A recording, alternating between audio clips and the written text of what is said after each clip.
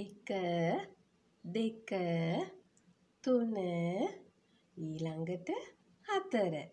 පුංචි යාළුවනේ මම අද ආවේ ඔයාලට හතර යාළුවා ගැන කියලා දෙන්න.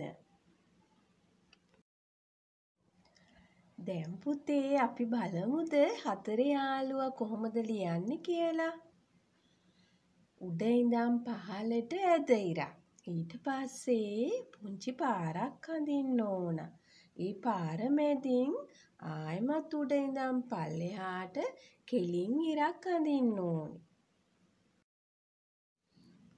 දැන් අපි හතර යාළුවට මල් දෙන්න හදන්නේ.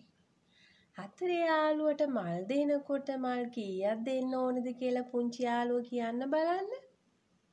මල් හතරක් දෙන්න ඕනි නේද?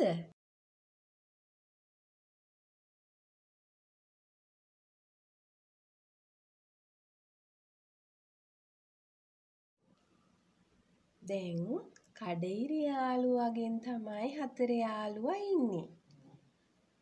කඩිරි යාළුවා යාළු කරනකොට බලන්න පුතේ උඩ ඉඳන් ඇද ඉර දිගේ පල්ලෙහාට ඇවිල්ලා ඊට පස්සේ පාර යාළුවගේ කඩිරි ටික යාළු කරලා ඊට පස්සේ උඩ ඉඳන් පහළට කෙලින්ම කඩිරි ටික යාළු කරන්න ඕනේ. එතකොට තමයි ලස්සනට අපට කඩිරි යාළුවා හතර යාළුවා යාළු කරන්න පුළුවන්. පුතාගේ අම්මට කියලා කඩිරි වලින් හතර යාළුවා මේ වගේ ලියාගන්න. ඊට පස්සේ ටීචර් කියලා දුන්න විදිහට හතර යාළුවාගේ කඩිරි ටික යාළු කරන්න. පුතේ දුවේ කඩිරි යාළු කරාට පස්සේ මම ඔයාලට දෙනවා පුංචි වැඩක් කරන්න. හතර යාළුවා ලියලා පුතාලට පුළුවන් කැමති පින්තූර හතරක් හතර යාළුවට දෙන්න. ඒ පින්තූර හතර ලස්සනට පාට කරලම දෙන්න හොඳේ. අපි දැන් හතර යාළුවට ඉංග්‍රීසි වලින් දෙමළෙන් කොහොමද කියන්නේ කියලා ඉගෙන ගමු.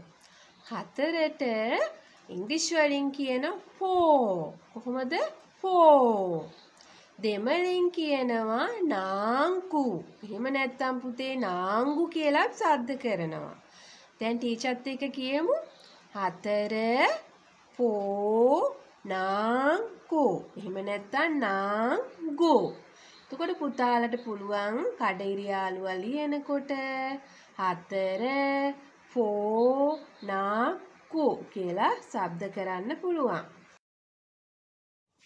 තවත් පාඩමකින් පුංචි යාළුවෝ ඊළඟ දවසට හම්බ වෙමු. එතකන් පුතාලා දූලා ගෙදරට වෙලා පරිස්සමෙන් ඉන්න.